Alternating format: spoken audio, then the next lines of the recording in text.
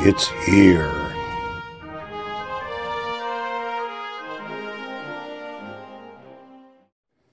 Hey everybody, what's going on? Welcome to my living room, which is now kind of like the home theater room.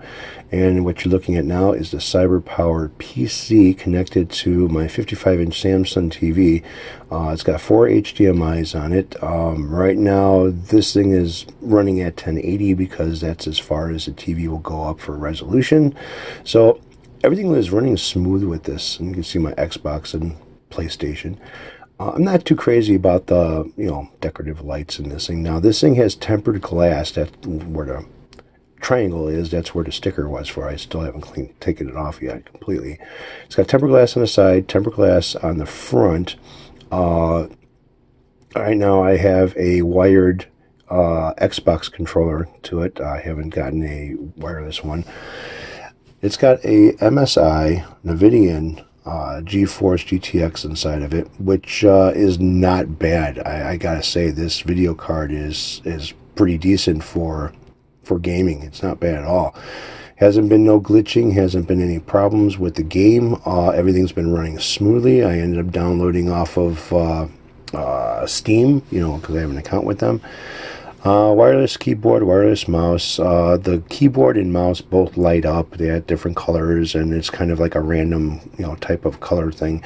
And I, they're wired, so I wanted to be wireless with this because the kid's sitting on a chair and uh, or a rocking chair as she's playing her game. So I've got a uh, Microsoft Xbox uh, S, Microsoft One S uh, wireless mouse coming, and or sorry not mouse, controller coming for this thing, so it could be totally wireless.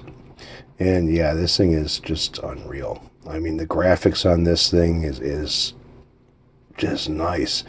Now you're getting a little bit of flutter from the recording, but uh, as you're watching this TV or playing the game, I'm trying to get away from it, to, you know, the lighting, so it won't be kind of fluttering like that.